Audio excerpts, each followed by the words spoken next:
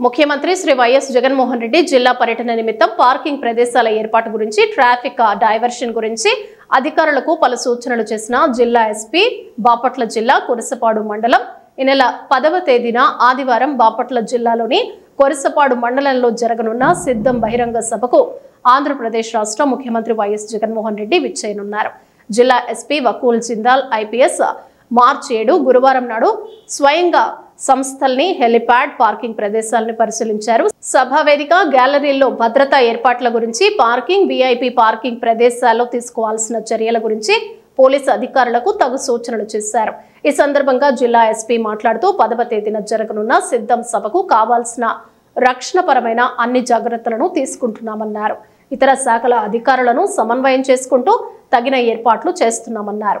సభకు వచ్చే ప్రజలకు ఎటువంటి ఇబ్బందులు కలగకుండా తగిన జాగ్రత్తలు తీసుకుంటున్నామన్నారు. ముఖ్యంగా ఇరవై ఎనిమిది చోట్ల పార్కింగ్ ప్రదేశాలను ఏర్పాటు చేశామన్నారు.